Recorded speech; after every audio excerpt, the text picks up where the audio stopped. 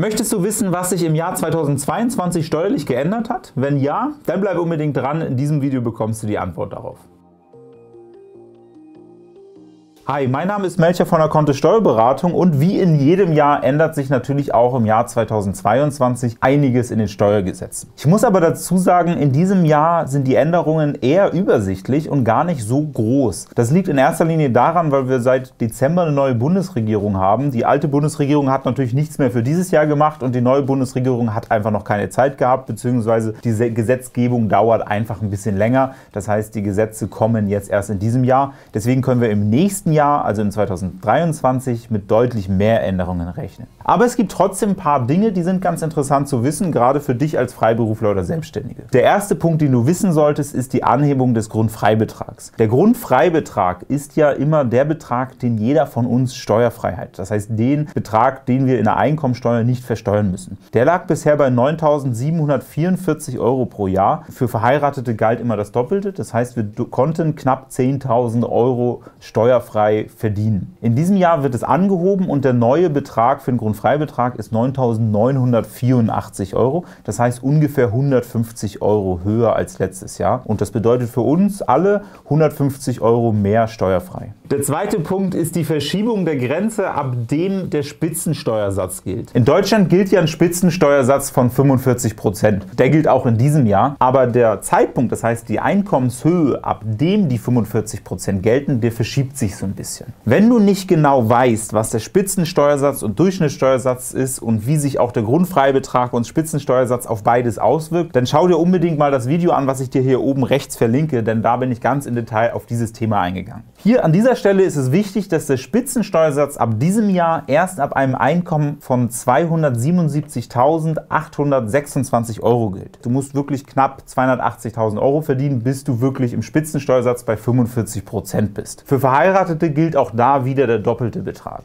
Der dritte Punkt, der dieses Jahr neu ist, ist ehrlicherweise nicht wirklich eine Regelung, die dieses Jahr neu ist. Und wir haben dazu auch schon mal ein separates Video aufgenommen. Der bezieht sich auf Zinsen in deinem Steuerbescheid. Denn die Zinsen von 6%, die das Finanzamt bisher erhoben hat auf Steuernachzahlungen, die sind verfassungswidrig. Hat zumindest das Verfassungsgericht letztes Jahr im Sommer entschieden. Das vertiefende Video dazu verlinke ich dir auch oben rechts einmal. Für dich an dieser Stelle ist nur unbedingt wichtig, das gilt natürlich auch für dieses Jahr und die Steuerbescheide, die du in diesem Jahr bekommst. Das heißt, wenn da das Finanzamt irgendwann mal 6% ausweist, bitte unbedingt Einspruch einlegen. Warum ist das Jahr 2022 trotzdem interessant dafür? Der Gesetzgeber muss nämlich bis Ende des Jahres entscheiden, welchen Steuersatz er in Zukunft nehmen möchte und der wird deutlich unter 6% liegen. Der vierte Punkt bezieht sich auf die Altersvorsorge. Wenn du als Selbstständiger in die Rürup-Rente einzahlst, dann kannst du in diesem Jahr 94% von den Beitragszahlungen in deiner Einkommensteuererklärung als Sonderausgabe geltend machen. Das ist mehr als in der Vergangenheit. Wie du genau Versicherungen und speziell Altersversicherungen in deiner Einkommensteuererklärung geltend machen und welche Grenzen da gelten, dazu habe ich auch schon mal ein vertiefendes Video aufgenommen. Das verlinke ich dir auch einmal hier oben rechts. Jetzt hier ist entscheidend, dass die Ansetzbarkeit höher ist als in der Vergangenheit. Du kannst jetzt maximal 25.639 Euro steuerlich geltend machen.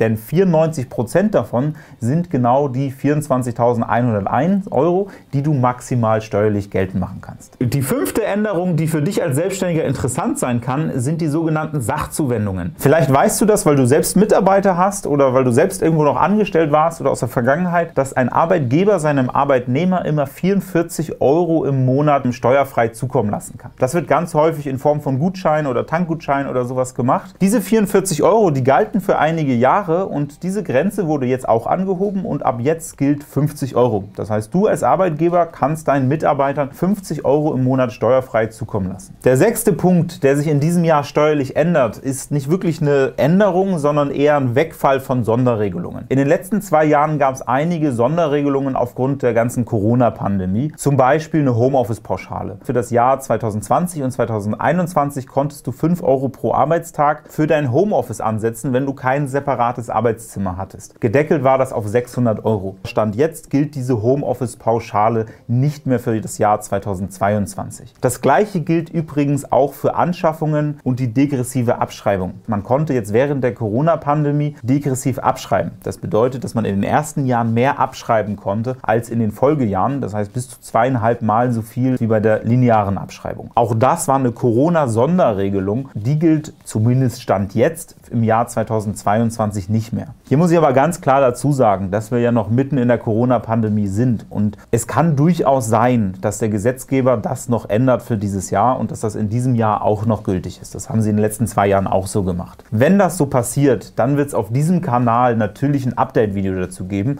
Deswegen lohnt es sich unbedingt, diesen Kanal zu abonnieren. Ich hoffe, dieses Video hat dir einen guten Überblick darüber gegeben, was sich im Jahr 2022 steuerlich ändert. Wenn du persönlich eine Änderung in deinem ganzen Steuersetup dieses Jahr haben möchtest und gerne einen digitalen Steuerberater beauftragen möchtest, dann habe ich eine Empfehlung für dich.